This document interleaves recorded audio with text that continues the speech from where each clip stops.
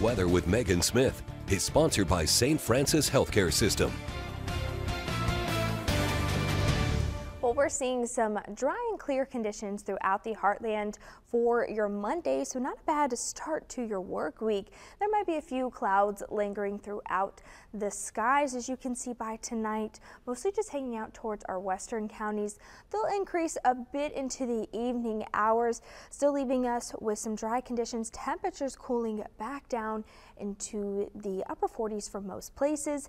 As we head into tomorrow, we're going to see a cold start Clouds increasing as well. Most most of the heartland will be covered, but decreasing into the afternoon hours, letting that sunshine just a bit, warming things up fairly quickly. By the evening hours, expect to see those clouds come back into play, but still leaving us with some dry conditions for your Tuesday. As we head into Wednesday morning, though, we're going to see clear conditions for the beginning of the day, but expect to see some pop-up showers as we head into the evening hours. As you can see, most of it's going to be hitting through southern Illinois, maybe a few in Kentucky, but things mostly staying dry, still continuing with those cloudy conditions. Temperatures on the cooler side than what we've seen for the past couple of weeks, still hanging out in the upper 60s for this week. Into Wednesday evening, we'll start to see those clouds moving out of the heartland, consisting with dry conditions for your Wednesday evening. Now with these temperatures, our allergies aren't as prone with pollen staying pretty low for this week.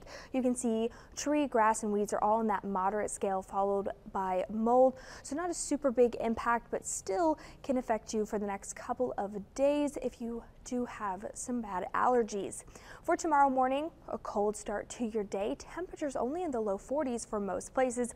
42 in Fredericktown, 43 in Union City, and 41 in Murray.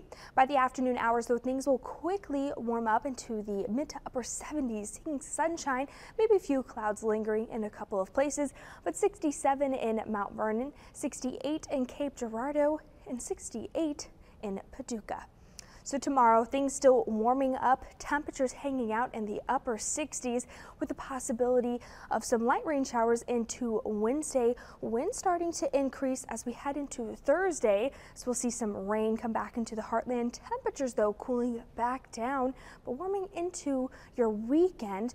So you can see temps in the upper 60s for Friday, the possibility of some evening showers as well. But another cool breeze comes in for your weekend. Expect to see some sunshine, windy conditions, but once again, temperatures in the low 60s for most places. Even our lows are going to drop below our average low that we have sitting at 50 right now, and these lows are going to be in the low 40s. But by next weekend, we'll continue with some sunshine, still breezy conditions, but temperatures making their way back up into the upper 60s for most places.